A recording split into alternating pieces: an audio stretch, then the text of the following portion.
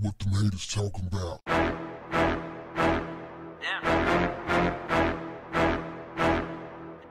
What's up, family? A white man reportedly ran two miles with the television on his shoulder in Vero Beach, Florida on May 8th in response to the racial bias that led to the shooting death of Ahmaud Arbery. Gregory McMichael and son Travis McMichael shot and killed Ahmaud, a black man in Brunswick, Georgia on February 23rd.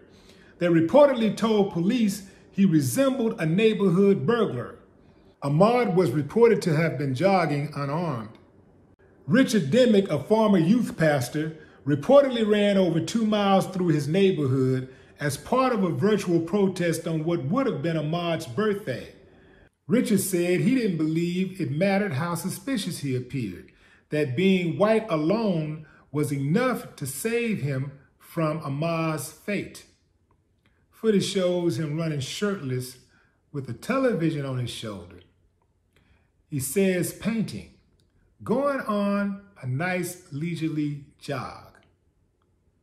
In the South, in the suburbs, carrying a TV and perfectly safe. I wonder why that is. I run with Ahmaud. That's what Pastor Richard Dimick said. What do y'all think about that? Is that accurate? I know some people say, well, you know, try that in South Bronx. Bet you won't try that in Oak Cliff. Try that in Fifth Ward, see what happens. Here's the deal, Rich. I can appreciate the effort. I really do. Because at least you're listening and you're trying to do something. A lot of people ain't doing nothing. They won't even, they won't do nothing. They'll just complain or they'll do nothing.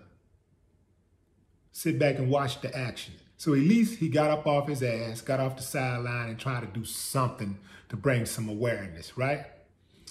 But I think that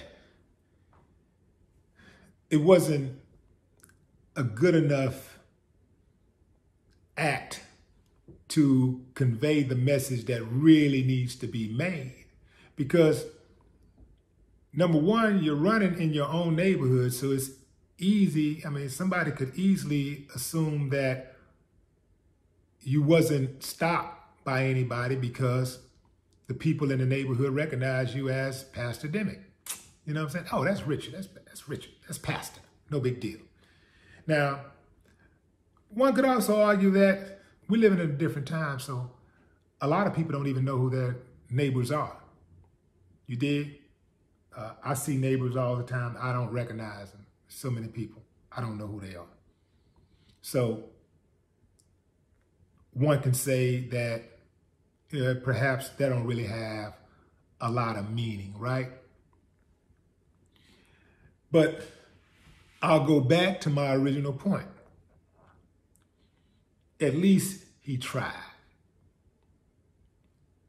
We all know that that could very well happen in any neighborhood where a white guy is running with a television and he doesn't get stopped.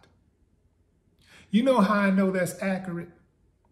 Because I got a white homeboy. And back in the day, when he used to be up to no good, he could go inside of a Walmart, loaded up with flat screen television, anything he wanted to put inside of that basket and roll right out. And nobody would question him. He did the same thing at uh, Office Depot. He did the same thing at Home Depot. Anywhere he would go, he could just load up a basket and roll right out. Now, you know damn well, ain't too many black guys gonna get away with something like that. But they gave him the benefit of doubt. I mean, I saw this with my own eyes. I saw him do it.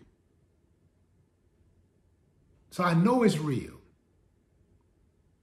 a lot of time they're watching the boogeyman. You know, for some of these people, black man is the boogeyman.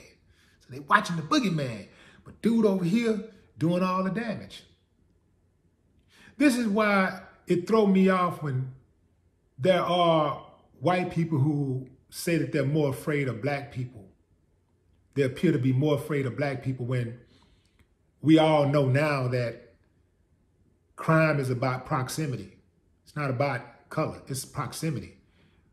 Whoever you're around the most, if you get victimized, that's probably who's going to victimize you. Nine times out of ten, that who is that who's going to victimize you. Victims of rape, victims of domestic abuse look like the suspects, looks like the perpetrators. Okay? People that get murdered. Most white people get murdered by white people. So why are white people so afraid of black people? White people should be afraid of white people because that's who mostly rape white people and kill white people and steal from white people and rob white people. It's white people. Just like black people are the ones who mostly rob black people and kill black people and rape black people. Same thing with uh, uh, uh Hispanics and same thing with uh, Asians. Same thing. You dig what I'm saying? So for somebody to think that this group of people is more is going to be more dangerous to to me than my own people, it's ridiculous. It don't even make sense because the numbers don't lie. They've been uh, put in front of us time and time again. So how can we not see that unless we just don't want to see it? Some people just want to be mad. Some people just want to not like other people or people that don't have their same background, share their same uh, interest, come from the same place they come from, look like them. Some people just want to have that type of complex. When again, the people that harm us the most mostly look like us. You dig what I'm saying? But to take that out on somebody that looked like them, that's too much like right. I commend the pastor again. You know, I I I, appreciate the effort, and you know he is right. He is right, uh, and at the very least, if anybody would have stopped him and said, "Hey, guy, what you doing?" They definitely wouldn't have shot him. Oh, I put that on everything. What's that commercial?